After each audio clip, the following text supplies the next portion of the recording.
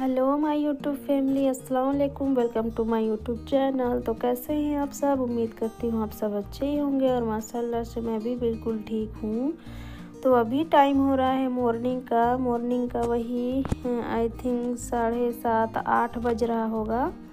तो अभी इस टाइम पे तो बिल्कुल मॉर्निंग में खाना, नाश्ता कुछ बनाना रहता नहीं है। तो वही रात का बर्तन पड़ा रहता है और झाड़ू पोछा रहते हैं तो वो सारे काम मैं अभी इस टाइम पे निपटा रही हूँ जल्दी जल्दी से ताकि अपना काम वगैरह करके फटाफट से और नहा लूँ जल्दी से। इसके बाद मैं थोड़ी देर आराम भी कर लूँगी।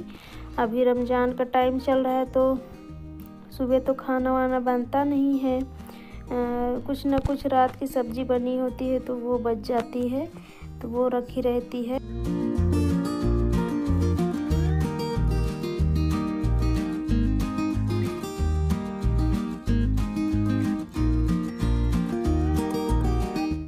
यहाँ पे काम करते करते बीच में कचरा वाला गाड़ी आ गया था तो मैं यहाँ पे जा रही हूँ सोची कचरा डाला हूँ पहले, इसके बाद काम करूँगी अपना, और इधर मैं मिक्सर को साफ़ कर रही हूँ, डस्ट वगैरह बढ़ जाता है, और यहाँ ना इस एरिया में कोयला बहुत उड़ता है काला काला तो क्योंकि ये कोयलरी क्षेत्र है तो इधर कोयला बहुत उड़ता है, काला काला, पड़ जाता है, चिपक जाता है बिल्कुल और हाँ मैं आपसे कह रही थी कि मतलब रात की सब्ज़ी बची होती है तो सुबह सिर्फ़ मैं चावल बना देती हूँ, सारा काम करके नहा धो के और आराम से चावल बना लेती हूँ, क्योंकि आते हैं एक डेढ़ बजे के समथिंग तो फिर तब तक मैं मेरा आराम से सारा काम भी हो जाता है, नहा भी लेती हूँ फिर चावल बना लेती हूँ।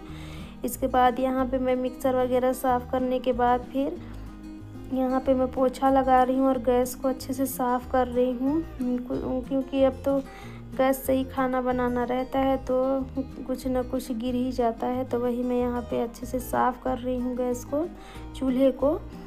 तो यहाँ पे चूल्हे को अच्छे से साफ़ कर लूँगी और मैं पोछा लगा लूँगी। अब रह गया है मेरा पोछा, बाकी सारा कुछ बिस्तर वगैरह तो सब मैं समेट ली हूँ।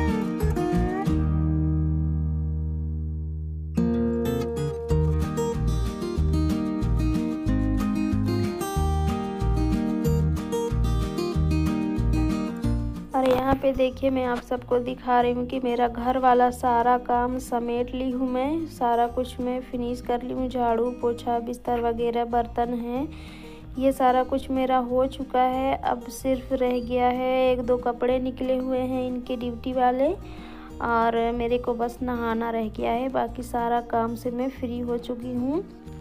तो इस टाइम पे सुबह का खाना पीना का झंझट नहीं रहता तो मैं जल्दी से नहा भी लेती हूँ।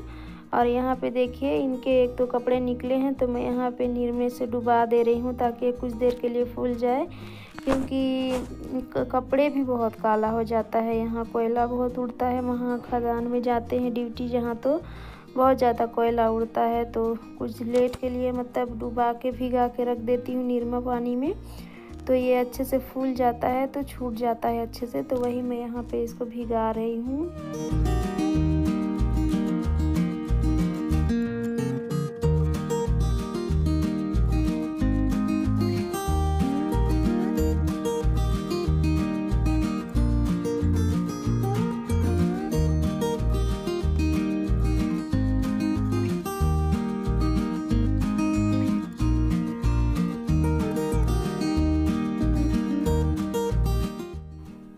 हेलो फैमिली तो अभी टाइम हो रहा है बारह बज के दस मिनट तो मैं सारा काम करके और नहा चुकी हूँ तो मैं सोची चलिए आप लोगों से थोड़ी सी बात कर लेते हैं। और मैं अभी चावल बना ली हूँ नहा के आने के बाद क्योंकि ये रोज़ा नहीं रखते, अभी मतलब आज संडे है तो आज से इनकी शिफ्ट चेंज हो चुकी है तो ये फ़र्स्ट शिफ्ट जाते हैं।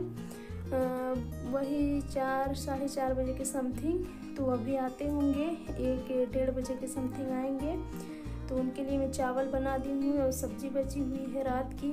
तो मैं सोची, चलिए आप लोगों से थोड़ी सी बात कर लेते हैं। और मेरा सारा काम हो चुका है तो मैं आज अब जा रही हूँ, थोड़ा सा रेस्ट करूँगी। इसके बाद फिर नमाज़ का टाइम हो जाएगा, जोहर का। फिर नमाज़ अदा करेंगे। चलिए फिर मिलते हैं। तब तक के लिए बाय